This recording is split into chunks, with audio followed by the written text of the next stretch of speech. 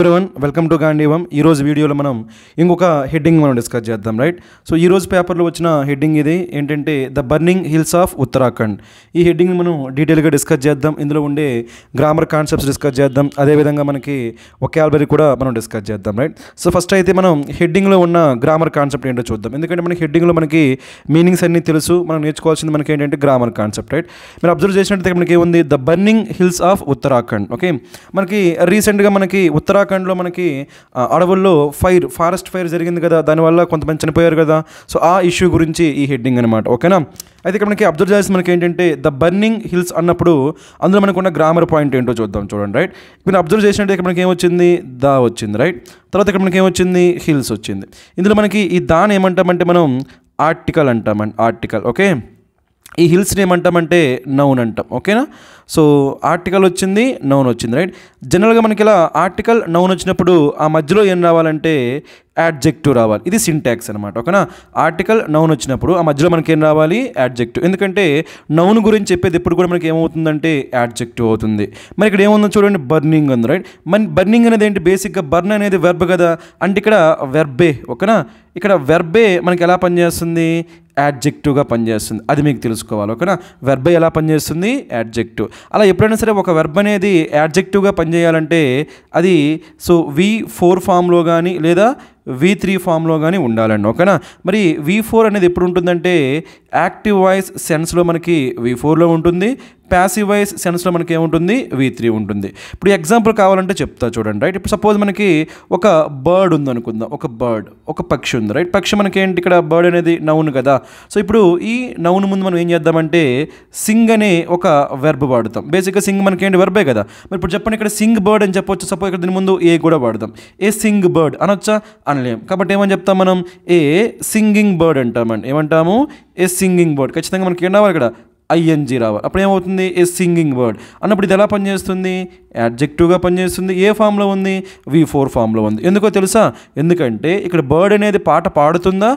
పాడించుకుంటుందా? పాట పాడుతుంది. పాట పాడడం అనేది మనకి ఏ వాయిస్ యాక్టివ్ వాయిస్ అందుకని ఎందులో వచ్చింది. వి ఫోర్లో వచ్చింది. రైట్ ఈ విధంగా మనకి ఎప్పుడైనా సరే ఒక వెర్బ్ అనేది యాడ్జెక్టివ్గా యాక్ట్ చేయాలంటే అది యాక్టివ్ సెన్స్లో యాక్టివ్ వాయిస్ సెన్స్లో మనం ఎందులో ఉండాలి వి ఫోర్ ఇప్పుడు ఇదే మనకి ఇంకొక ఎగ్జాంపుల్ చూసామనుకోండి. రైట్ ఇంకొక ఎగ్జాంపుల్ చూస్తే మనకి ఏమవుతుందో చూద్దాం. రైట్ సేమ్ మళ్ళీ ఏ ఆర్టికల్ మళ్ళీ ఏం రాసామంటే బర్డ్ రాసాం బర్డ్ మనకేంటి? మళ్ళీ నౌన్ వచ్చింది ఆర్టికల్. ఇప్పుడు ఏం రాద్దామంటే దీని ముందు ఏం రాద్దామంటే ఇలా ఇంజూర్ అని రాద్దామండి ఏం రాద్దాము? ఇంజూర్.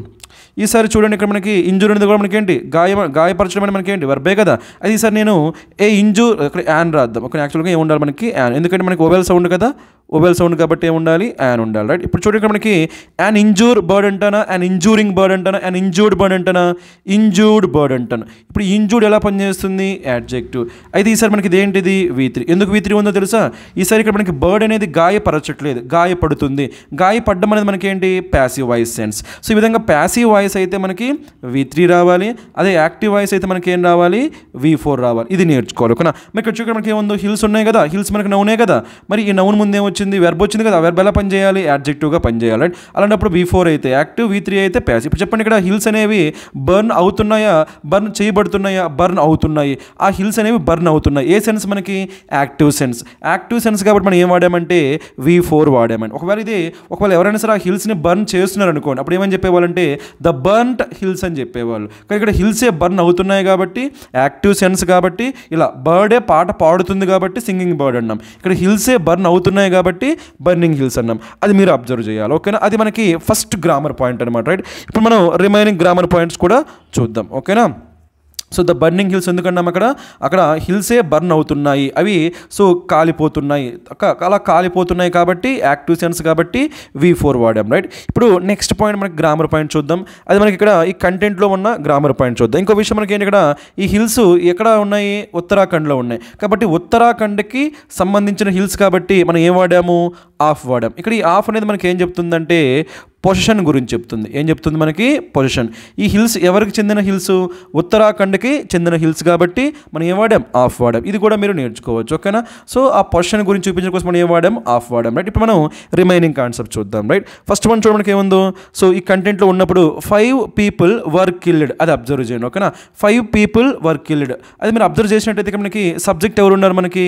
ఫైవ్ పీపుల్ ఉన్నారు. తర్వాత వెర్బ్ ఏం వచ్చింది? వర్ కిల్డ్ వచ్చింది రైట్? మీరు అబ్జర్వ్ చేసినట్టయితే మనకి సబ్జెక్ట్ తర్వాత వర్ కిల్డ్ వచ్చింది కదా అందులో వర్ణ ఏమంటామంటే మనం బీ ఫామ్ అంటామండి. ఏమంటాము? Be form.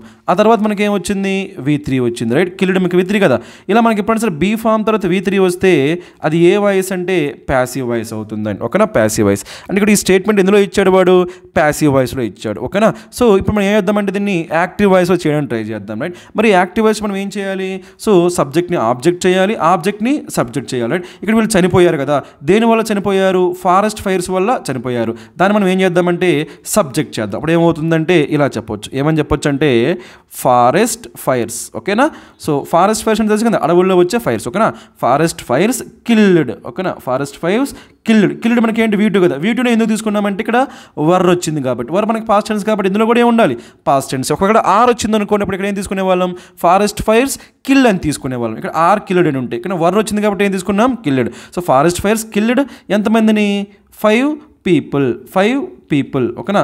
సో ఈ విధంగా అప్పుడు చెప్పిన ఏమవుతుంది మనకి ఇది? సబ్జెక్ట్ అవుతుంది ఇది మనకి వర్బ్ అవుతుంది ఇది మనకి ఏమవుతుంది? ఆబ్జెక్ట్ అవుతుంది రైట్ ఇది ఏ వాయిస్లో ఉంది ఇప్పుడు మనకి ఇది? యాక్టివ్ వాయిస్లో వచ్చింది. ఇంతకు ముందు ఇచ్చింది ఏ వాయిస్లో ఉంది? ప్యాసివ్ వాయిస్లో ఉంది. అయితే మీకు డౌట్ రావచ్చు ఓకేనా? మరి ఇది ప్యాసివ్ వాయిస్లో కన్వర్ట్ చేసినప్పుడు బై రావాలి కదా సార్? కానీ ఇక్కడ మనకి ఇన్ ఎందుకు వచ్చిందని మీకు డౌట్ రావచ్చు ఓకేనా? సపోజ్ ఇది ఈ స్టేట్మెంట్ మనం ప్యాసివ్ వాయిస్ కన్వర్ట్ చేస్తే ఏమైతే five people were killed by forest fires రావాలనుకుంటారు కదా. కానీ ఇక్కడ మనం తెలుసుకోవాల్సింది మనకి ఏంటంటే ప్యాసివ్ వాయిస్లో ప్రతిసారి మనకి బయ్యే రావాలి అని ఏం లేదండి. ఓకేనా? మీకు చిన్న ఎగ్జాంపుల్ చెప్తాను చూడండి. ఓకేనా? అదేంటంటే సపోజ్ మనకి ఇలా ఒక ఎగ్జాంపుల్ రాద్దాం దాన్ని బట్టి మీకు అర్థమైంది రైట్? సో ఒక చిన్న ఎగ్జాంపుల్ రాస్తే మీకే అర్థమవుతుంది రైట్? ఇలా ఉందనుకోండి the cloth. Covered. The cloth covered the table అన్నాం అనుకోండి. The cloth covered the table అన్నాం అనుకోండి. ఇది ఏ వాయిస్లో ఉంది మనకి? యాక్టివ్ వాయిస్లో ఉంది. ఓకేనా? ఇప్పుడు దీనికి మనం ఏం చేద్దామంటే ప్యాసివ్ వాయిస్ చేద్దాం చూడండి అప్పుడు ఏమైందంటే the table okay? The table was ఇక్కడ మనకి ఏముంది? కవర్డ్ ఉందా లేదా? వీ టూ కాబట్టి ఏం రావాలి? వజ్ రావాలి. Was covered the table was covered మామూలుగా అయితే ప్యాసివ్ వాయిస్ ఏం రావాలి మనకి? బై ఏ రావాలి. అప్పుడు ఏమవుతుంది? బై ద క్లాత్ అని చెప్పొచ్చు. బై ద క్లాత్ కానీ ఇక్కడ మనకి సో నార్మల్గా ఇలా మనకి ఏమొస్తుంది? బై వస్తుంది. కానీ ఇక్కడ మాత్రం ఏం రాకూడదంటే బై రాకూడదండి. ఏం రావాలంటే విత్ రావాలి. ఏం రావాలి? విత్ ఇది మనకి ప్యాసివ్ వాయిస్ రైట్ మామూలుగా ప్యాసివ్ వాయిస్లో బై వస్తుంది. కానీ కొన్నిసార్లు మనకి బై కాకుండా అప్రోప్రియేట్ ప్రిపోజిషన్ వస్తుంది. ఇక్కడ మనకి ఏముంది? క్లాత్. క్లాత్తో కవర్ చేసాం ఆ తో అంటున్నాం కాబట్టి ఏమొచ్చింది? విత్ వచ్చింది. అలా ఇక్కడ కూడా మనకి ఏముంది ఫారెస్ట్ ఫైర్స్లో చనిపోయారు. ఆ ఫారెస్ట్ ఫైర్స్లో. లో అంటున్నాం కాబట్టి ఏమొచ్చింది మనకి? ఇన్ వచ్చింది. కాబట్టి ఇక్కడ మనకి బై రాకపోయినా కానీ అది మనకి ఏం చేస్తుంది ప్యాసివ్ వైస్ సెన్సే ఇస్తుంది. కాబట్టి అది మీరు అబ్జర్వ్ చేయాలి. ఓకేనా? ఇది చాలా చాలా ఇంపార్టెంట్ కాన్సెప్ట్ ఎస్పెషల్లీ మనకి ఎవరైతే ఎస్ఎస్సి ఎగ్జామ్స్ ప్రిపేర్ అవుతున్నారో వాళ్ళకి ఇది చాలా ఇంపార్టెంట్ కాన్సెప్ట్ నార్మల్గా ఇలా ఇచ్చినప్పుడు సపోజ్ మ్యారీడ్ వచ్చింది అనుకోండి ఇప్పుడు కూడా మనం suppose Anushka was married by Kohli అని చెప్పకూడదు అనేది చాలా తప్పు అది. ఓకేనా? అప్పుడు ఏమైపోద్దంటే కోహ్లీ దగ్గరుండి అనుష్క మ్యారేజ్ చేశాడని మీనింగ్ వచ్చేస్తుంది. అలా రాకూడదు. ఏం రావాలంటే Anushka was married to Kohli అని చెప్పాలి. ఆ విధంగా ప్యాసివ్ వాయిస్ అయినప్పటికీ అందులో ఏం వాడకూడదు మనం? బై వాడకూడదు. అలాంటిదే ఈ కాన్సెప్ట్ కూడా. ఇక్కడ మనకి ఏం వాడాము? ఇన్ వాడాము. ఎందుకంటే అక్కడ ఫారెస్ట్ ఫైర్స్లో చనిపోయారు కాబట్టి బై కాకుండా ఏం వాడాము? ఇన్ వాడాము. ఇన్ మే అనేది మే నెల కాబట్టి అది మనకి యాడ్వర్బ్గా పనిచేస్తుంది. మన వాయిస్లో మనం యాడ్వర్బ్ని అసలు మనం చేంజ్ చేయం కాబట్టి చేంజ్ చేయం కాబట్టి ఇన్ మే అనేది ఎలా వచ్చింది? ఇన్ మేగానే వచ్చింది రైట్ అది మీరు అబ్జర్వ్ చేయాలి. సో అది మనకి అది ఫస్ట్ పాయింట్ ఓకేనా సో ఈ విధంగా మనకి ఈ గ్రామర్ కాన్సెప్ట్ చాలా ఇంపార్టెంట్ మీరు ఖచ్చితంగా దీన్ని నేర్చుకోవాలి. ఓకేనా సో దాంతో మనకి ఆ కాన్సెప్ట్ అయిపోయింది. ఇప్పుడు మనం నెక్స్ట్ కాన్సెప్ట్ చూద్దాం చూడండి రైట్ నెక్స్ట్ కాన్సెప్ట్ మనకి ఏంటంటే ఇక్కడ మనకి రైట్ దట్ ఉంది చూడండి ఇక్కడ ఉంది forest fires that have been raging ఇక్కడ మనకి ఈ దట్ గురించి మాట్లాడదాం ఓకేనా? నార్మల్గా మనకి ఈ వర్డ్స్ ఉంటాయండి ఓకేనా? హూ అదేవిధంగా విచ్ అదేవిధంగా దట్ జనరల్గా వీటిని మనం ఏమంటామంటే రిలేటివ్ ప్రొనౌన్స్ అంటామండి ఆర్పి రిలేటివ్ ప్రొనౌన్స్. ఓకేనా? మరి ఈ రిలేటివ్ ప్రొనౌన్స్ వచ్చినప్పుడు మనకి జనరల్గా ఏం జరుగుతుందంటే వీటి ముందు సబ్జెక్ట్ వస్తుంది తర్వాత వెర్బ్ వస్తుంది అదేవిధంగా సబ్జెక్ట్కి వెర్బ్కి మధ్య అగ్రిమెంట్ కూడా ఉంటుంది. అగ్రిమెంట్ అంటే మనకేంటి? ఈ సబ్జెక్ట్ సింగులర్ అయితే వెర్బ్ కూడా సింగులర్ సబ్జెక్ట్ ప్లూరల్ అయితే వెర్బ్ కూడా ప్లూరల్ ఇక్కడ అబ్జర్వ్ చేయడానికి మనకి దట్ కంటే ముందు ఏమొచ్చింది మనకి? ఫారెస్ట్ ఫైర్స్ వచ్చింది. ఓకేనా? దట్ కంటే ముందు మనకి ఏమొచ్చింది ఫారెస్ట్ ఫైర్స్ వచ్చింది. ఫారెస్ట్ ఫైర్స్ దట్ కంటే ముందు ఏమొచ్చింది ఫారెస్ట్ ఫైర్ ఇది మనకి సబ్జెక్ట్ అవుతుంది. ఇక్కడ ఏమొచ్చింది? వెర్బ్ వచ్చింది. మరి ఫారెస్ట్ ఫైర్స్ అనేది సింగులర్ ప్లూరల్ ప్లూరల్ కాబట్టి ఏమొచ్చిందంటే హ్యావ్ బీన్ వచ్చింది. ఒకవేళ ఇక్కడ ఫారెస్ట్ ఫైర్స్ కాకుండా ఫారెస్ట్ ఫైర్ అన్నాడు అనుకోండి అప్పుడు ఇక్కడ హ్యావ్ రాకూడదు. ఏం రావాలి? హ్యాజ్ రావాలి. అది కూడా మీరు అబ్జర్వ్ చేయాలి రైట్ సో ఇది మనకి నెక్స్ట్ కాన్సెప్ట్ అనమాట ఏంటి కాన్సెప్ట్ రిలేటివ్ పనౌన్కి సంబంధించింది కాన్సెప్ట్ రైట్ రిలేటివ్ పనౌన్ వచ్చినప్పుడు మనకి ముందేం వస్తుంది సబ్జెక్ట్ వస్తుంది. తర్వాత మనకి ఏమొస్తుంది? వెర్బ్ వస్తుంది. అన్నింటి మధ్య మనకి ఏం ఉండాలి అగ్రిమెంట్ ఉండాలి. ఇక్కడ అలాంటి మనకి ఏమొచ్చింది? ఇక్కడ దట్ వచ్చింది. ఇది మనకి రిలేటివ్ పనౌన్ కాబట్టి ముందు ఫారెస్ట్ ఫైర్ సబ్జెక్ట్ తర్వాత హ్యావ్ బీన్ వచ్చింది రైట్ అది పాయింట్ ఇప్పుడు మనం ఏం చేద్దామంటే నెక్స్ట్ కాన్సెప్ట్ డిస్కస్ చేద్దాం ఓకేనా నెక్స్ట్ కాన్సెప్ట్ ఏంటంటే హ్యావ్ బీన్ రేజింగ్ ఓకేనా హ్యావ్ బీన్ రేజింగ్ నార్మల్గా మీకు ఈ ఒకాబులరీ నేర్చుకోవాలి ఓకేనా మనకేముంది ఇక్కడ? రేజ్ ఉంది ఓకేనా మామూలుగా రేజ్ అంటే ఏం చెప్పొచ్చు అంటే యాంగర్ అని చెప్పొచ్చు అండి ఏం చెప్పొచ్చు? యాంగర్. మామూలుగా రేజ్ అంటే ఓకేనా?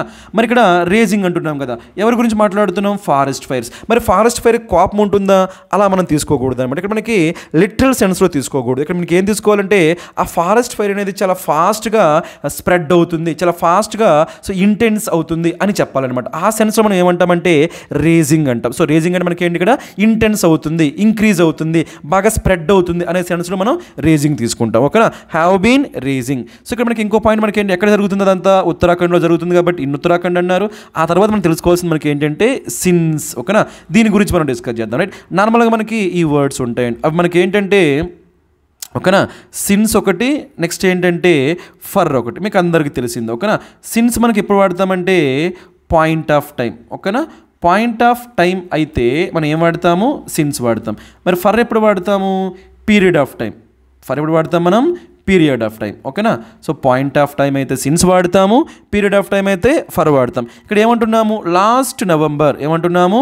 లాస్ట్ నవంబర్ లాస్ట్ నవంబర్ నుంచి ఈ ఫారెస్ట్ ఫైర్స్ అనేవి స్ప్రెడ్ అవుతున్నాయి. కాబట్టి ఆ నుంచి అంటున్నాం కాబట్టి మనకి ఇది ఏమవుతుందంటే పాయింట్ ఆఫ్ టైం అవుతుంది. కాబట్టి ఏం వాడామంటే ఇక్కడ సిన్స్ వాడాం. సిన్స్ లాస్ట్ నవర్ ఇంకో విషయం మనకి ఏంటంటే జనరల్గా మనకి ఈ సిన్స్ ఫర్ వచ్చినప్పుడు మనకి ఏ టెన్సెస్ వస్తాయంటే పెర్ఫెక్ట్ టెన్సెస్ వస్తాయండి. ఏ టెన్స్ వస్తుంది మనకి పెర్ఫెక్ట్ అందులో కూడా పెర్ఫెక్ట్ కంటిన్యూస్ అనేది బాగా వస్తుంది. పెర్ఫెక్ట్ కంటిన్యూస్ మరి పెర్ఫెక్ట్ కంటిన్యూస్ అంటే మనకి ఏ ఫామ్ మనకి జనరల్గా పర్ఫెక్ట్ అంటే అందులో ఏ ఫామ్స్ ఉండాలంటే హ్యావ్ ఫామ్స్ ఉండాలి. ఏ ఫామ్స్ ఉండాలి? హ్యావ్ ఫామ్స్ ఇక్కడ హ్యావ్ ఫామ్స్ ఉన్నాయో వచ్చి ఏముంది? హ్యావ్ వచ్చింది. మళ్ళీ హ్యావ్ ఫామ్స్ వచ్చింది రైట్ మరి కంటిన్యూస్లో ఏ ఫామ్స్ వస్తాయి? బీ ఫామ్స్ వస్తాయి. కాబట్టి ఏమొచ్చింది? బీన్ వచ్చింది. సో హ్యావ్ ఫామ్స్ కాబట్టి పర్ఫెక్ట్ బీ ఫామ్ కాబట్టి కంటిన్యూస్ ప్లస్ ఏమొచ్చింది? వి ఫోర్ కాబట్టి దీన్ని ఏమంటామంటే ప్రెజెంట్ పర్ఫెక్ట్ కంటిన్యూస్ టెన్స్ ఏమంటాము? Present perfect continuous tense present perfect continuous tense వచ్చింది. దీంతో పాటు ఏమొచ్చింది? సిన్స్ ఈ విధంగా మనకి ప్రెజెంట్ పర్ఫెక్ట్ కంటిన్యూస్ టెన్స్తో మనకి ఏం రావచ్చు? సిన్స్ రావచ్చు లేదా ఫర్ రావచ్చు. అలా సిన్స్ వచ్చినప్పుడు ఏమవుతుంది మనకి అది? పాయింట్ ఆఫ్ టైం అవుతుంది. ఫర్ వచ్చినప్పుడు ఏమవుతుంది మనకి? పీరియడ్ ఆఫ్ టైం అవుతుంది రైట్ సో ఈ విధంగా మనకి ఈ కాన్సెప్ట్ నేర్చుకోవచ్చు. ఏంటి ఆ కాన్సెప్ట్ మనకి? సిన్స్ అనేది పాయింట్ ఆఫ్ టైం ఫర్ అనేది పీరియడ్ ఆఫ్ టైం అదేవిధంగా సిన్స్ ఫర్ వచ్చినప్పుడు మనకి ఏం రావచ్చు? పర్ఫెక్ట్ టెన్సెస్ రావచ్చు. అందులో కూడా పర్ఫెక్ట్ కంటిన్యూస్ అనేది మనకి ఎక్కువగా వస్తుంది రైట్ ఇక్కడ వచ్చిన టెన్స్ మనకి ఏంటి? ప్రెజెంట్ పర్ఫెక్ట్ టెన్స్ ఒకవేళ ఇక్కడ మనకి హ్యావ్ కాకుండా హ్యాడ్ వచ్చింది అనుకోండి హ్యావ్ కాకుండా హ్యాడ్ వచ్చింది అనుకో అదేమైపోద్ది మనకి? పాస్ పర్ఫెక్ట్ కంటిన్యూస్ అయిపోతుంది. ఓకేనా? అది కూడా మీరు నేర్చుకోవాలి. ఇది మనకి సో ఈ కాన్సెప్ట్ సో మనకి టెన్స్ గురించి నేర్చుకున్నాం. అదేవిధంగా సిన్స్ ఫర్ గురించి కూడా నేర్చుకున్నాం రైట్ ఇప్పుడు మనం నెక్స్ట్ కాన్సెప్ట్ చూద్దాం. నెక్స్ట్ లైన్లో okay the forest department attributes ఇది మనకి ఇంపార్టెంట్ ఓకేనా? ఇక్కడ మనకి ఫారెస్ట్ డిపార్ట్మెంట్ అంటున్నాం కదా. ఇది సింగులర్ ప్లూరల్ డిపార్ట్మెంట్ అనేది సింగులర్ కాబట్టి వెర్బ్కి ఏమొచ్చిందో చూడండి. ఎస్ వచ్చింది. అదే మనకి డిపార్ట్మెంట్ అని కాకుండా డిపార్ట్మెంట్స్ అంటున్నారు అనుకోండి. డిపార్ట్మెంట్స్ డిపార్ట్మెంట్స్ అంటే అప్పుడు మనకి ఏం రావాలంటే యాట్రిబ్యూట్ రావాలి. ఇక్కడ డిపార్ట్మెంట్ అంటున్నాం కాబట్టి మనకి ఏమొచ్చింది? రైట్ డిపార్ట్మెంట్ కాబట్టి మనకి ఏమొచ్చింది? యాట్రిబ్యూట్స్ వచ్చింది. అదే డిపార్ట్మెంట్స్ అని ఉంటే మనకి ఏం రావాలి? యాట్రిబ్యూటే రావాలి. అది ఫస్ట్ పాయింట్ నెక్స్ట్ పాయింట్ మనకి ఏంటంటే ఇక్కడ ఒక ఇంపార్టెంట్ ఫిక్స్డ్ ప్రిపోజిషన్ మనం నేర్చుకోబోతున్నాం. రైట్ అది మనకి ఏంటంటే ఈ వర్డ్స్ వచ్చినప్పుడు ఓకేనా? జాగ్రత్తగా అబ్జర్వ్ చేయండి. ఆ వర్డ్ మనకి ఏంటంటే యాట్రిబ్యూట్ అని వచ్చినప్పుడు కానీ లేదా రైట్ కాంట్రిబ్యూట్ ఓకే? కాంట్రిబ్యూట్ అని వచ్చినప్పుడు కానీ లేదా డివోటెడ్ ఓకేనా? డివోటెడ్ అని వచ్చినప్పుడు కానీ లేదా డెడికేటెడ్ ఓకేనా? డెడికేటెడ్ సో ఇలా ఈ వర్డ్స్ వచ్చినప్పుడు చెప్పండి ఏంటో words attribute contribute devoted dedicated ఈ వర్డ్స్ ఎప్పుడు వచ్చినా కానీ దీంతో మనకి ప్రిపోడిషన్ ఏమొస్తుందంటే టూ వస్తుందండి. అంటే ఎలా అంటే attribute to contribute to devoted to dedicated to ఇక్కడ కూడా మనం చూడకి వచ్చిందో యాట్రిబ్యూట్స్ వచ్చిందా లేదా? వెంటనే మీరు ఏం అబ్జర్వ్ చేయాలంటే టూ వచ్చిందా లేదా అబ్జర్వ్ చేయాలి. రైట్ వచ్చిందా లేదా? టూ వచ్చింది. సి ఈ అట్రిబ్యూట్ ఎప్పుడు వాడతామంటే మనం దేన్నైనా సరే బ్లేమ్ చేయాల్సి వచ్చినప్పుడు కానీ క్రెడిట్ ఇవ్వాల్సి వచ్చినప్పుడు కానీ మనం ఏం వాడతామంటే యాట్రిబ్యూట్ వాడతాం. అంటే దాని వల్లే జరిగింది వాళ్ళ వల్లే జరిగింది ఆ విధంగా చెప్పినప్పుడు అనమాట వాళ్ళ వల్లే జరిగింది లేదా దాని వల్లే జరిగింది అని దాన్ని మనం బ్లేమ్ చేస్తున్నప్పుడు కానీ లేదా వాళ్ళ క్రెడిట్ ఇస్తున్నప్పుడు కూడా మనం ఏం చెప్పొచ్చు అంటే యాట్రిబ్యూట్ అని చెప్పి అట్రిబ్యూట్ టూ అని చెప్పొచ్చు. ఇక్కడ ఏం చేస్తున్నారు వీళ్ళు? ఈ ఫారెస్ట్ డిపార్ట్మెంట్ వాళ్ళు ఏం చేస్తున్నారు? ఈ ఫారెస్ట్ ఫైర్స్ అనేవి దేని వల్ల వచ్చాయి అంటున్నారు అవుట్ మైగ్రేషన్ వల్ల వచ్చాయంట అదేవిధంగా హై టెన్షన్ వైర్స్ వల్ల వచ్చాయంట అదేవిధంగా అబండెన్స్ ఇది మనకి ఇంపార్టెంట్ రైట్ మనకి ఎప్పుడైనా సరే అబండెన్స్ అంటున్నాం అంటే దాని మీనింగ్ ఏంటంటే కాపియస్ అని ఓకేనా మరి కాపియస్ అంటే మనకి ఏంటి తక్కువనా ఎక్కువనా? ఎక్కువ. కాబట్టి దీని మీనింగ్ ఏంటంటే ప్లెంటీ ప్లెంటీ చాలా ఎక్కువ ఉన్నప్పుడు దాన్ని ఏమంటామంటే మనం అబండెన్స్ అంటాం లేదా కాపీస్ అంటాం. సో ఈ ఫారెస్ట్ డిపార్ట్మెంట్ వాళ్ళు ఏమంటున్నారు? ఈ ఫైర్స్ రావడానికి కారణం కారణం ఏమని చెప్తున్నారు? అవుట్ మైగ్రే అవుట్ మైగ్రేషన్ మనకి ఏంటి? మైగ్రేషన్ అంటే ఏంటి? వలస వెళ్ళడం. ఒక చోటు నుంచి మనం కంప్లీట్గా ఖాళీ చేసి చాలా ఎక్కువ మంది ఒకేసారి ఒక ప్లేస్ నుంచి ఖాళీ చేసి వెళ్ళిపోతే దాన్ని మనం ఏమంటామంటే అవుట్ మైగ్రేషన్ అంటాం. సో ఆ విధంగా అవుట్ మైగ్రేషన్ వల్ల అదేవిధంగా హై టెన్షన్ వైర్స్ అంటే హై వోల్టేజ్ వైర్స్ ఉంటాయి కదా? ఆ హై వోల్టేజ్ వైర్స్ వల్ల అదేవిధంగా అబండెన్స్ ఆఫ్ పైన్ ట్రీస్ ఇది ఒక రకమైన మనకి ట్రీ నేమ్ అనమాట పైన్ అనేది మనకి పైన్ ట్రీస్ ఉంటాయి రైట్ ఇది ఒక మనకి సపోజ్ మనకి చింత చెట్లు జామ చెట్లు అంటాం కదా అలా మనకి పైన్ ట్రీస్ ఉంటాయి రైట్ సో ఈ పైన్ ట్రీస్ వల్ల కూడా ఏం జరుగుతుందంటే? ఈ ఫారెస్ట్ ఫైర్స్ అనేవి జరుగుతున్నాయి అని చెప్పి ఎవరు చెప్తున్నారు? ఫారెస్ట్ డిపార్ట్మెంట్ వాళ్ళు చెప్తున్నారు. ఫారెస్ట్ డిపార్ట్మెంట్ వాళ్ళు ఏమని చెప్తున్నారు? ఈ ఫైర్స్ రావడానికి కారణం ఏమని చెప్తున్నారు? మనకి మైగ్రేషన్ వల్ల అదేవిధంగా హై టెన్షన్ వైర్స్ వల్ల అదేవిధంగా పైన్ ట్రీస్ అనేవి చాలా ఎక్కువ ఉండడం వల్ల అని చెప్తున్నారు రైట్ అది మనకి ఫారెస్ట్ డిపార్ట్మెంట్ వాళ్ళు చెప్పారు రైట్ ఇక్కడ మనకి ఇంకో కాన్సెప్ట్ చూద్దాం. అది మనకి ఏంటంటే వైల్ అనే వర్డ్ అండి రైట్ సో జనరల్గా మనకి వైల్ అనేది మనకి చాలా సిచ్యువేషన్స్లో వాడతాం ఓకేనా? అయితే ఈ కాంటెక్స్ట్లో వైల్ మనకి దేనికోసం వాడామంటే కంపారిజన్ కోసం వాడామండి. దేనికోసం వాడాము? కంపారిజన్ రైట్ నార్మల్గా మనం కంపేర్ చేసినప్పుడు ఏం వాడతామంటే వైల్ వాడతాం రైట్ ఇక్కడ ఎవరెవరిని కంపేర్ చేస్తున్నామో చూద్దామా? ఎవరెవరినంటే ముందు ఎవరి గురించి చెప్తున్నాం మనం? ఫారెస్ట్ డిపార్ట్మెంట్ గురించి. తర్వాత ఎవరి గురించి చెప్తున్నాము? స్టేట్ గవర్నమెంట్ గురించి. ఇక్కడ ఫారెస్ట్ డిపార్ట్మెంట్ని అదేవిధంగా స్టేట్ గవర్నమెంట్ని కంపేర్ చేస్తున్నారు రైట్ ఫారెస్ట్ డిపార్ట్మెంట్ వాళ్ళు ఏమని చెప్పారు? ఈ ఫైర్స్ రావడానికి మెయిన్ రీజన్ ఏమని చెప్పారు మనకి? పైన్ ట్రీస్ ఎక్కువ ఉండడం వల్ల హై టెన్షన్ వైర్స్ ఉండడం వల్ల అదేవిధంగా ఇంకేంటి? రైట్ సో అవుట్ మైగ్రేషన్ వాళ్ళని అని చెప్పారు రైట్ మరి అది ఫారెస్ట్ డిపార్ట్మెంట్ వాళ్ళు చెప్పారు. ఇప్పుడు స్టేట్ డిపార్ట్మెంట్ వాళ్ళు ఏమని చెప్తున్నారో చూద్దామా? చూడండి స్టేట్ డిపార్ట్మెంట్ వాళ్ళు ఏమని చెప్తున్నారు. వాళ్ళు ఏమంటున్నారంటే has said that said in the Supreme Court Supreme కోర్టులో చెప్పారంట వాళ్ళు. ఏమని చెప్పారంటే the far the fires are completely man made అంటే మీనింగ్ ఏంటి? మనుషులే ఏం చేశారంటే ఆ ఫారెస్ట్ని తగలబెట్టేశారు. మనుషులే తగలబెట్టేశారు. ఇక్కడ ఎవరెవరిని కంపేర్ చేస్తున్నాం మనం? ఇద్దరిని. ఎవరిని? ఫారెస్ట్ డిపార్ట్మెంట్ని కంపేర్ చేస్తున్నాం. అదేవిధంగా స్టేట్ గవర్నమెంట్ని కంపేర్ చేస్తున్నాం. రైట్ ఫారెస్ట్ డిపార్ట్మెంట్ దానికి రీజన్ ఏమని చెప్పారు మనకి?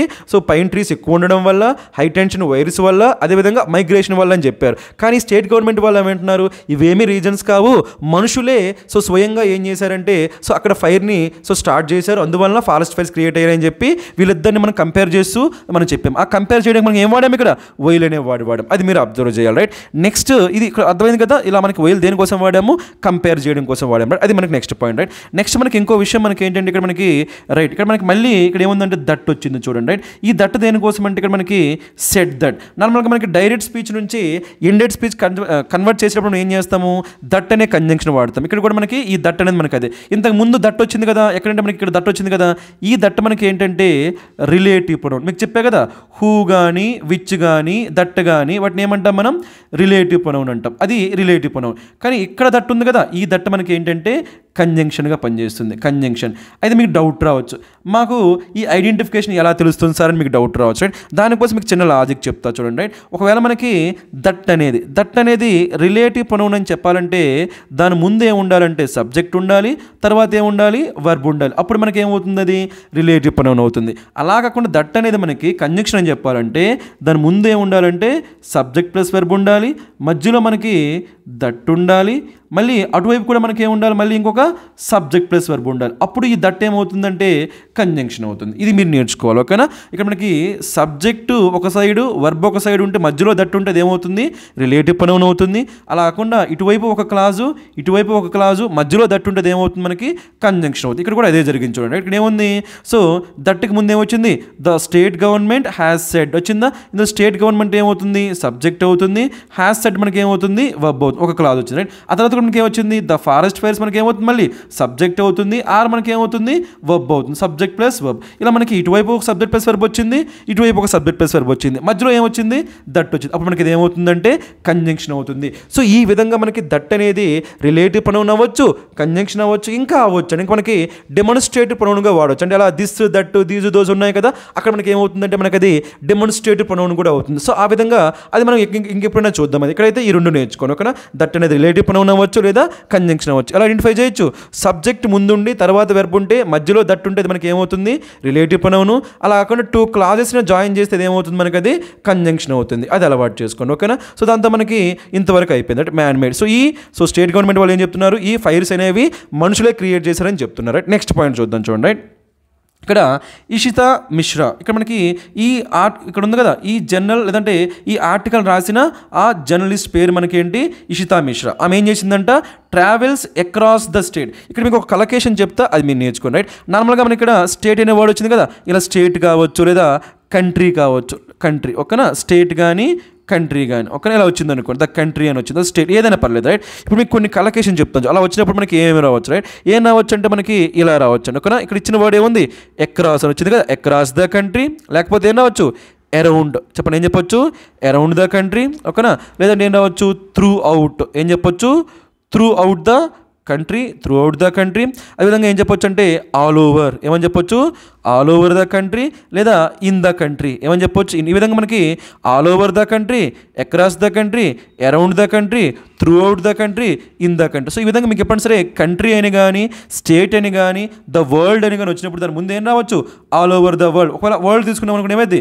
All over the world across the world around the world throughout the world in the world so ఈ విధంగా ఈ వర్డ్స్ అన్ని కూడా మనకి ఏంటంటే పాసిబిలిటీస్ ఈ పాసిబిలిటీస్ మీకు ఖచ్చితంగా తెలియాలండి. ఓకేనా? సో ఈ విధంగా మనకి ఇక్కడ ఈ అక్రాస్ వచ్చింది కదా? So travels across the state లేదా అరౌండ్ ద స్టేట్ అలా మనకి వర్డ్స్ మీకు ముందే తెలుసు అనుకోండి.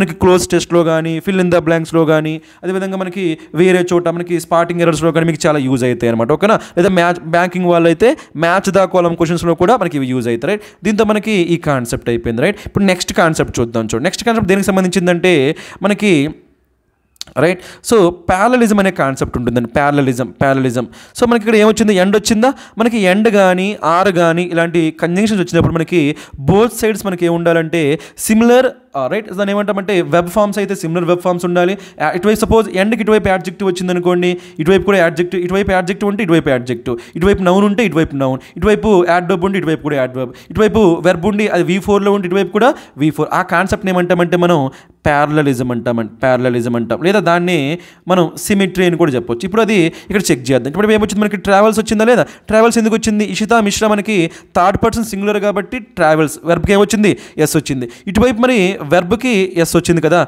ఇటువైపు వెర్బ్కి ఎస్ వస్తే ఇటువైపు కూడా ఏముండాలి వెర్బ్కి ఏం రావాలి? ఎస్ రావాలి. అది వచ్చిందా వచ్చేటప్పుడు మనకి ఫైన్స్ వచ్చిందా లేదా? కాబట్టి ట్రావెల్స్ ఫైన్స్. అది మీరు అబ్జర్వ్ చేయాలి. ఇలా ఎండ్ వచ్చినప్పుడు కానీ ఆలోచినప్పుడు కానీ బోత్ సైడ్ మనకి ఏమొస్తుంది? Same concept. దీన్ని మనం ఏమంటాము? ప్యారలలిజం అంటాం. ఇది మీరు అబ్జర్వ్ చేయాలి. రైట్? అది మనకి నెక్స్ట్ పాయింట్ రైట్ ఇప్పుడు నెక్స్ట్ మనకి ఇంకొక కాన్సెప్ట్ చూద్దాం. చూడండి మనకి మళ్ళీ ఇక్కడ మనకి ఏమొచ్చింది?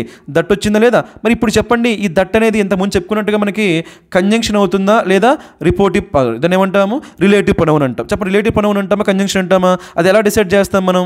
ఎలా డిసైడ్ చేస్తామంటే ఇటువైపు ఏముంది మనకి చూడండి ఇక్కడ మనకి? రైట్ ఇటువైపు ఏమొచ్చింది మనకి? ఇక్కడ ద స్టేట్ ఇక్కడ వచ్చి కదా. సో ఇషితా మిశ్రా ట్రావెల్స్ అని వచ్చింది కదా లేదా? తర్వాత ఏమొచ్చింది? ఫైన్స్ వచ్చింది కదా. ఇక్కడ ఇషితా మిశ్రా మనకి ఏంటి ట్రావెల్స్ కానీ ఫైన్స్ కానీ మనకి వర్బ్ కాబట్టి ఇది ఒక క్లాజ్ వచ్చింది రైట్? ఇప్పుడు మనకి ఏమొచ్చింది ద విలేజర్స్ ఇది సబ్జెక్ట్ అవుతుంది. ఆర్ వచ్చింది కదా ఇది మనకి ఏమవుతుంది వెర్బ్ అవుతుంది. సో ఇటువైపు ఒక క్లాజ్ వచ్చింది ఇటువైపు ఒక క్లాజ్ వచ్చింది. మధ్యలో వచ్చింది కదా దట్ అప్పుడు దీన్ని ఏమంటామంటే మనం కంజంక్షన్ అంటాం. సో ఈ విధంగా మనకి ఇటువైపు ఒక క్లాజ్ వచ్చింది ఇటువైపు ఒక క్లాజ్ వచ్చింది మధ్యలో దట్ వచ్చింది కాబట్టి దాన్ని ఏమంటాం? కంజంక్షన్ సో ఇక్కడ మనకి దట్ అనేది మనకి ఏమవుతుంది? కంజంక్షన్ అవుతుంది రైట్ నెక్స్ట్ మనకి కాన్సెప్ట్ చూద్దాం. అది మనకి సబ్జెక్ట్ వెర్బ్ అగ్రిమెంట్కి సంబంధించింది రైట్ ఇక్కడ సబ్జెక్ట్ ఎవరు వచ్చారు మనకి? విలేజర్స్ మరి విలేజర్స్ మోస్ట్లీ ఉమెన్. చాలామంది అందులో ఉమెన్ ఉన్నారంట. ఓకేనా? సో మనకి విలేజర్స్ మనకి సింగులర్ ప్లూరల్ ప్లూరల్. విలేజర్ అంటే సింగులర్ విలేజర్స్ అంటే ప్లూరల్. కాబట్టి ఏమొచ్చింది మనకి వెర్బు ప్లూరల్ వెర్బ్ వచ్చింది రైట్ కాబట్టి ఆర్ వచ్చింది రైట్ ఒకవేళ విలేజర్ అని ఉంటే ఏమొచ్చేది మనకి? ఈజ్ వచ్చేది రైట్ విలేజర్స్ కాబట్టి ఏమొచ్చింది? ఆర్ నెక్స్ట్ పాయింట్ మనకి ఏంటంటే ఆర్ వచ్చింది కదా ఆర్ మనకి ఏంటంటే బీ ఫామ్ ఆర్ మనకి ఏ ఫాము బీ ఫామ్ మనకి ఇంత ముందు చెప్పుకున్నాం. బీ ఫామ్ తర్వాత వి త్రీ వస్తే అది ఏ వాయిస్ మనకి అది ప్యాసివ్ వాయిస్ మరి ఇక్కడ ఏమొచ్చింది? బీ ఫామ్ తర్వాత వి త్రీ వి త్రీ వచ్చిందా? రాలే. ఏమొచ్చింది? బీ ఫామ్ తర్వాత వి ఫోర్ వచ్చింది. ఇది ఏ వాయిస్ అవుతుంది మనకి? యాక్టివ్ వాయిస్ అవుతుంది. అది కూడా ఏ టెన్స్ అవుతుందంటే కంటిన్యూస్ టెన్స్ అవుతుందండి. ఏముంది? ఆర్ హెల్పింగ్ వచ్చిందా లేదా? కాబట్టి మనకి ఏంటి కంటిన్యూస్ టెన్స్ ఏ కంటిన్యూస్ టెన్స్ మనకి ఇది ఆర్ మనకి వి వన్లో ఉందా? వి టూలో ఉందా? వి వన్లో ఉంది. వి వన్లో ఉంటే మనకి ప్రజెంటా పాస్టా ప్రెజెంట్ కాబట్టి ఇది ఏ టెన్స్లో ఉంది. ప్రెజెంట్ కంటిన్యూస్ ఆర్ హెల్పింగ్ మనకి ఏంటి ప్రెజెంట్ కంటిన్యూస్ అది మీరు నేర్చుకోవాలి ఓకేనా? నెక్స్ట్ ఇక్కడ ఇంకొక కాన్సెప్ట్ చూద్దాం. అది మనకి ఏంటంటే కాజేటివ్ వర్బ్స్ అంటామండి ఏమంటాం దాన్ని? కాజేటివ్ వర్బ్ మీకు కాజేటివ్ వర్బ్ ఏంటి అనేది మనకి చిన్న బ్రీఫ్గా చెప్తా ఒకసారి వినండి ఓకేనా? సపోజ్ మనకి ఇలా ఉందనుకోండి కాజేటివ్ వర్బ్ అంటాం ఓకేనా? కాజేటివ్ వర్బ్ అంటే ఏంటి? సపోజ్ ఇప్పుడు నేను ఇలా అంటున్నా. ఏమంటున్నానంటే I cut okay I cut the vegetables అన్నాను అనుకోండి ఐ కట్ ద వెజిటబుల్స్ అంటే దీని మీనింగ్ ఏంటి ఇప్పుడు?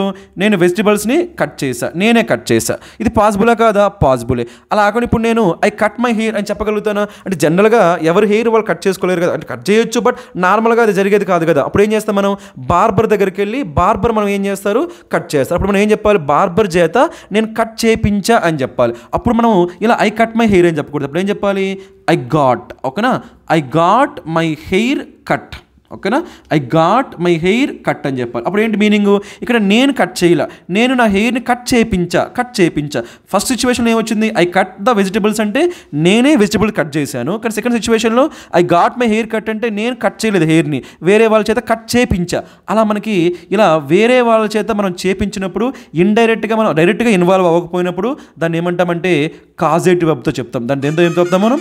కాజేటివ్ వెబ్తో చెప్తాం. దాన్ని మనం కాజేటివ్ వెబ్తో చెప్తాం. డైరెక్ట్గా మనం ఇన్వాల్వ్ ఇన్వాల్వ్ కాకుండా వేరే వాళ్ళ చేత మనం యాక్షన్ చేపించినప్పుడు దాన్ని ఏమంటాం మనం? కాజేటివ్ వెబ్ అంటాం. కాబట్టి ఈ విధంగా ఇక్కడ ఉంది కదా ఈ హెల్ప్ అనేది. ఈ హెల్ప్ కూడా మనకి ఏంటంటే ఒక కాజేటివ్ వెబ్ ఈ హెల్ప్ స్పెషాలిటీ ఏంటంటే మనకి ఎప్పుడైనా సరే ఈ హెల్ప్ వచ్చినప్పుడు రైట్ దాంతో మనకి ఏం రావచ్చు అంటే సో నార్మల్గా కొన్ని వెబ్స్తో మనకి ఏమొస్తుంది టూ ప్లస్ వి వన్ వస్తుంది. కొన్ని కాజేటివ్ వెబ్స్తో కొన్ని వెబ్స్తో మనకి ఏమొస్తుంది కాజేటివ్ వెబ్స్తో వి వన్ వస్తుంది. కానీ ఈ హెల్ప్ స్పెషాలిటీ ఏంటంటే దీంతో టూ ప్లస్ వి వన్ రావచ్చు వి వన్ కూడా రావచ్చు. ఇక్కడ మనకి ఏమొచ్చిందో చూద్దామా? ఎక్స్టింగ్ విష్ వచ్చిందండి ఇది మనకి ఏంటి వి వన్. సార్ మీకు ఎలా తెలుస్తారు వి వన్ అంటారా? నార్మల్గా మనకి ఇప్పుడు కూడా వి వన్కి మాత్రం మనం ఏం యాడ్ చేస్తామంటే ఈడీ యాడ్ చేస్తాము ఐఎన్జీ యాడ్ చేస్తాం. చూడండి ఎక్స్టింగ్ విష్ ఉంది కదా? దాన్ని ఏమని చెప్పొచ్చు నేను? ఎక్స్టింగ్ విష్డ్ అని చెప్పొచ్చు. ఇంకేం చెప్పొచ్చు నేను? ఎక్స్ ఎక్స్టింగ్ విషింగ్ అని కూడా చెప్పొచ్చు. కాబట్టి మనకి ఇది ఏమవుతుంది? V one. ఇక్కడ మనకి హెల్పింగ్ తర్వాత ఏమొచ్చింది? వి వన్ వచ్చింది. నార్మల్గా ఏం రావచ్చు? వి వన్ రావచ్చు టూ ప్లస్ వి వన్ కూడా రావచ్చు. అది మీరు నేర్చుకోవాలి. రైట్ ఇక్కడ ఇంకో పాయింట్ ఏం ఎక్స్టింగ్విష్ చేశారు ఇక్కడ మనకి? ఫ్లేమ్స్ ఫ్లేమ్స్ అంటే మనకి ఏంటి మంటలు. ఒక మంటలు ఏం చేశారంట? ఎక్స్టింగ్విష్ ఎక్స్టింగ్విష్ మనకి ఏంటి ఆర్పేశారు. మంటల్ని ఆర్పేశారు. మంటలు ఆర్పడానికి ఎవరు హెల్ప్ చేశారంట? ఉమెన్ హెల్ప్ చేశారు. ఓకే లేదా విలేజెస్ హెల్ప్ చేశారు. అందులో ఎక్కువ మంది ఎవరు ఉన్నారు మనకి? ఉమెన్ ఉన్నారు. అంటే ఈ మంటల్ని ఆపడానికి విలేజర్స్ హెల్ప్ చేశారు. అందులో ఎక్కువ మంది ఎవరు ఉన్నారు మనకి? ఉమెన్ ఉన్నారు. ఇక్కడ మనకి ఇంకొక చిన్న కలకేషన్ నేర్చుకొని ఇది మనం క్లోజ్ చేద్దాం. రైట్ అది మనకి ఏంటంటే ఇక్కడ మనకి సో క్లోజ్ టెస్ట్లో ఫిల్ ఇన్ ద బ్లాంక్స్ మీకు చాలా యూజ్ అవుతుంది. రైట్ మనకి ఏమొచ్చింది ఫ్లేమ్స్ వచ్చింది కదా. లేదా ఫైర్ వచ్చింది అనుకో అప్పుడు మనకి ఏం రావాలంటే ఎక్స్టింగ్విష్ రావాలి. ఓకేనా? అలా కాకుండా సపోజ్ మనకి ఇలా థర్స్ట్ అనే వర్డ్ వచ్చింది అనుకో అనుకుందాం ఎగ్జాంపుల్. ఓకేనా? థర్స్ట్ అని వచ్చింది అనుకో దీని ముందు ఏమొస్తుందంటే క్వెంచ్. ఏమొస్తుంది మనకి? క్వెంచ్. ఓకేనా? క్వెంచ్ ద థర్స్ట్ అంటాం. క్వెంచ్ ద థర్స్ట్ అంట. సపోజ్ మనకి ఇక్కడ హంగర్ అనే వర్డ్ వచ్చింది అనుకోండి. హంగర్. అప్పుడు ఇక్కడ మనం ఏం వాడాలంటే సాటిస్ఫై. ఏం వాడాలి? సాటిస్ఫై. ఇలా మనకి ఈ వర్డ్స్ వచ్చినప్పుడు మీరు గెస్ట్ చేయగలగాలి. అంటే మన క్లోజ్ టెస్ట్లో సో సపోజ్ మనకి ఇలా ఒకనా బ్లాంక్ ఇస్తాడు బ్లాంక్ తర్వాత ఏం ఇస్తాడు మనకి? రైట్? బ్లాంక్ తర్వాత ఓకే? బ్లాంక్ తర్వాత థాస్ట్ ఇచ్చారనుకోండి ముందేం రావాలి? క్వెంచ్. బ్లాంక్ తర్వాత హంగర్ ఇచ్చారనుకుంటే థాస్ట్ అంటే దాహం దాహం తీర్చుకోవడాన్ని కొంచెం అంటాం ఓకేనా రైట్ మరి ఆకలి తీర్చుకోవడం ఏమంటాం? సాటిస్ఫై అంటాం. అలా ఫ్లేమ్స్ ఆపడాన్ని ఏమంటాం? ఎక్స్టిక్ వీటిని జంట పదాలు అంటారండి. ఈ జంట పదాలని మనం ఏమంటామంటే కలకేషన్స్ అంటాం. జంట పదాలు మనం ఏమంటాము? కలకేషన్స్ అంటాం. ఇవి మనకు చాలా యూస్ఫుల్ అండి. ఇవి చాలా చాలా ఇంపార్టెంట్ మీకు ఎవరైతే ఎగ్జామ్స్ ఆల్రెడీ రాశారో వాళ్ళకి వీటి ఇంపార్టెన్స్ అనేది ఈజీగా తెలుస్తుంది అనమాట ఓకేనా? సో ఈ విధంగా మనకి ఇక్కడ ఉన్న ఈ హెడ్డింగ్ మనం ఈ విధంగా ఎనలైజ్ చేయొచ్చు. ఈ విధంగా ఈ కాన్సెప్ట్స్ అన్ని కూడా నేర్చుకోవచ్చు ఈ వీడియో మీకు యూజ్ అయింది అనుకుంటాను సో మీకు యూజ్ అయితే మీ ఫ్రెండ్స్తో షేర్ చేయండి. దీన్ని రైట్ సో మన ఛానల్ గ్రోత్కి హెల్ప్ చేయండి. Thank you all the best